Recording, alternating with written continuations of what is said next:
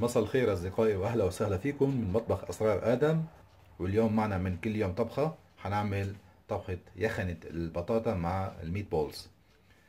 لحتى نحضر هالأكلة سجلوا معي عنا 2 كيلو بطاطا مقشرين ومنقوعين بمي زيت ذرة أو دوار الشمس حبتين بصل متوسط مفرومين فرمة ناعمة. إذا بتحبوا فرمة خشنة مثل ما بدكم. عندي راس توم نصه بدي شيله اقليه مع البصل ونصه بدي اهرسه وحطه بالآخر.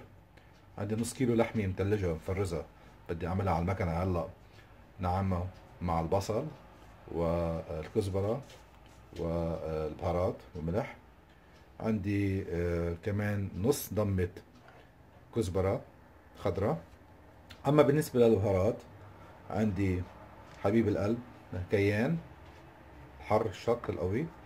وعندي كمون سبع بهارات 7 spices وبابريكا.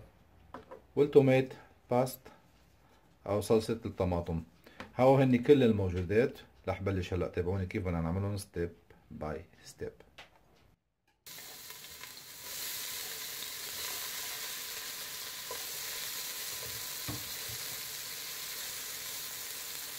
هلا أحط بابريكا. سبع بهارات كمون كيان.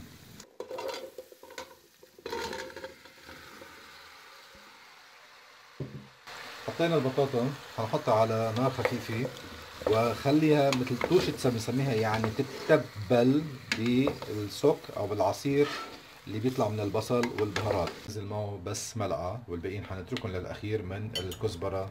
رح ضيف هلأ كمان عليهم كرات. كمان ياخد النكهة معهم. هلا بحط لها مي سخنة.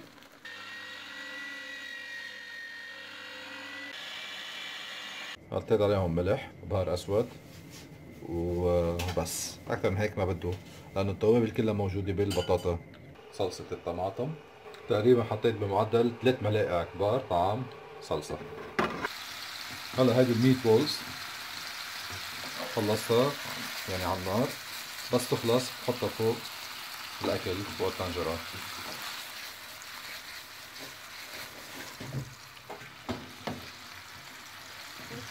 هلا حنحط اللحمة مع الزوم تبعولها بالطنجرة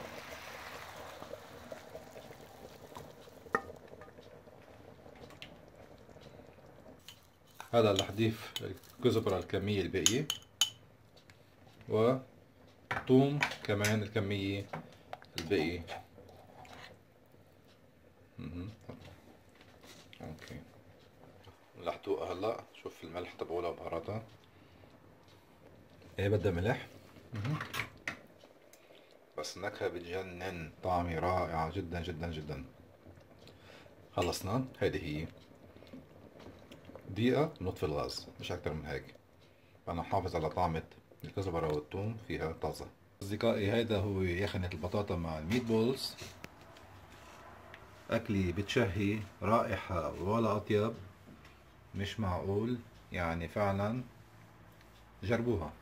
ما بدي لكم أكتر من هيك. ما تنسونا بحبكم بال like و subscribe share. باي باي. هلا رح تذوقها وقلكم كيف طعمتها.